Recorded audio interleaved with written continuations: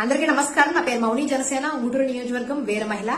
ప్రజాస్వామ్యంలో రాజ్యాంగబద్ధంగా రాజకీయాల్లో ఉండే ఏ ప్రతిపక్ష పార్టీ అయినా సభలు నిర్వహించుకోవచ్చు. ఆ హక్కు వారికి ఉంది. అదేవిధంగా ప్రజలకు కానీ ఆ గ్రామస్తులకు గాని సమ్మతమైతే వారి వారి సొంత స్థలాలను వారికి నచ్చిన పార్టీకి ఇచ్చుకునే హక్కు కూడా ప్రజలకు ఉంది.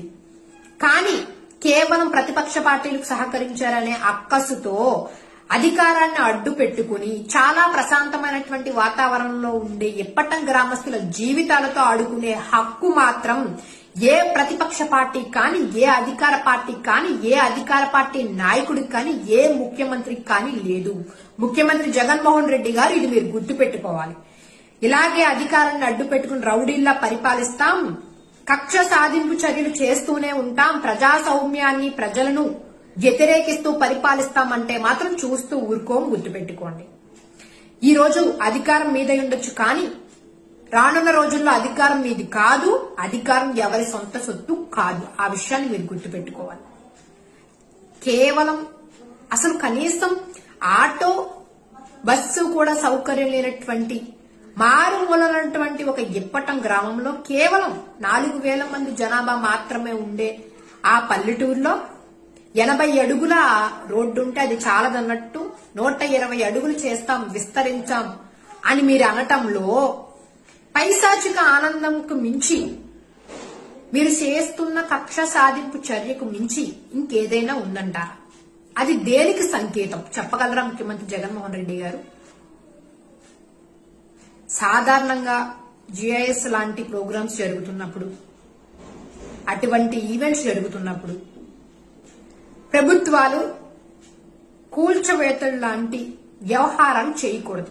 ఎందుకంటే ఇన్వెస్టర్లు కూల్చవేతలపై అసహనం వ్యక్తం చేస్తారు కాబట్టి.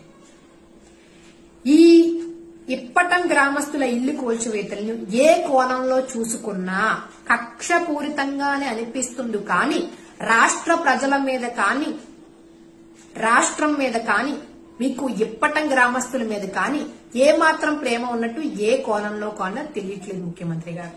నిజంగా జగన్మోహన్ రెడ్డి గారు మీకు రాష్ట్రం మీద కానీ రాష్ట్ర ప్రజల మీద కానీ అంత ప్రేమే ఉంటే మీరు చేయాలనుకున్న అభివృద్ధి ఇప్పటంలో కాకుండా రాష్ట్రం అంతా రోడ్లు వేసి చూపించండి. అప్పుడు మీరు నిజంగా దొంగ కాదు దొర అని ఒప్పుకుంటాం.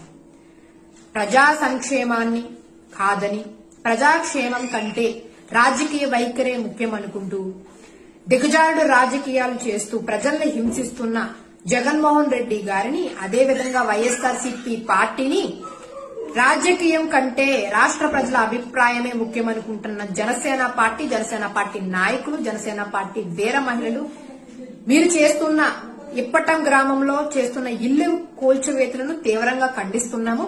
రానున్న రోజులో ఖచ్చితంగా జనసేన పార్టీని స్థాపించి తీరి మీరు చేస్తున్నటువంటి ఈ అక్రమాలను అరికడతాము. అదేవిధంగా ఇప్పటం ఇల్లు కూల్చివేతలకు తగిన మూల్యం చెల్లించాల్సిన సమయం అతి త్వరలోనే వస్తుంది గుర్తుపెట్టుకోండి. దీన్ని మేము తీవ్రంగా జనసేన పార్టీ తరఫున అతి తీవ్రంగా ఖండిస్తున్నాం.